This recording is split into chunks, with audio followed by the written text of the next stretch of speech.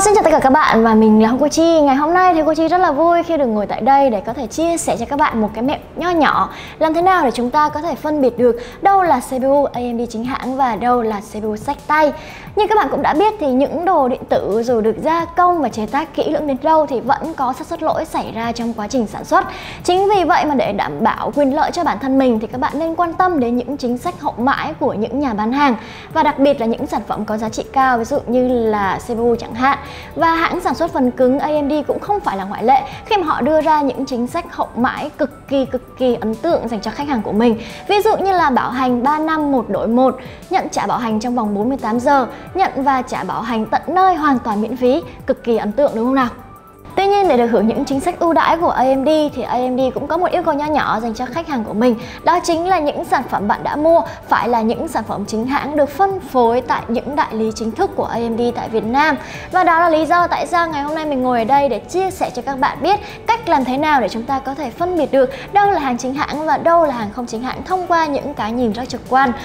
Dấu hiệu nhận biết đầu tiên dễ dàng nhận thấy nhất đó chính là tem ở trên hộp của sản phẩm. Hiện tại thì AMD chỉ có hai nhà phân phối chính thức, đó chính là Elite và Vĩnh Xuân. Vậy nên các bạn hãy tìm tem của một trong hai nhà phân phối này ở trên hộp của sản phẩm nhé.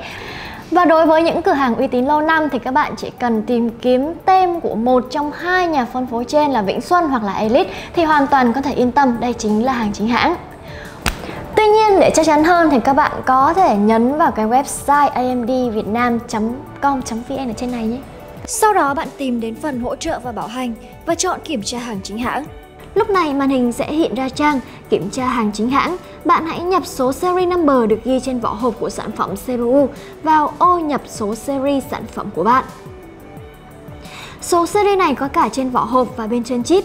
Bạn cũng nên đối chiếu hai số này để xem có trùng khớp hay không, tránh tình trạng bị tráo hàng. Sau khi nhập số xong, bạn nhấn nút gửi liên hệ. Nếu được hồi đáp về các thông tin sản phẩm như là số series number, mã sản phẩm, thời gian bảo hành và đơn vị phân phối thì bạn có thể yên tâm đây chính là sản phẩm chính hãng. Ngược lại nếu bạn nhận được dòng chữ hàng không qua kênh phân phối chính thức tại Việt Nam, hàng sách tay sẽ không được áp dụng quy định bảo hành tại Việt Nam thì hãy từ chối mua hàng để đảm bảo quyền lợi cho mình các bạn nhé.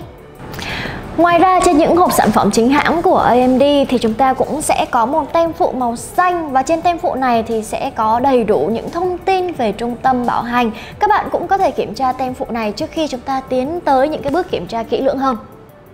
Và Hokochi cũng có một cái lưu ý nho nhỏ dành cho những bạn nào mà tự mình muốn mang những cái sản phẩm của mình đi bảo hành. Thì AMD luôn luôn khuyến khích cho các bạn, nếu như mà các bạn mang những cái sản phẩm của họ đi bảo hành, thì các bạn nên mang theo cả một hộp CPU có nghĩa là nó sẽ bao gồm chip và quạt tản nhiệt. Bởi vì khi đó các bạn sẽ được nhận lại một hộp CPU còn mới, nguyên siêu luôn. Còn trong trường hợp mà các bạn chỉ mang theo chip thì các bạn vẫn được bảo hành. Tuy nhiên thì lại chỉ nhận được con chip chứ không kèm theo quạt tản nhiệt các bạn nhé.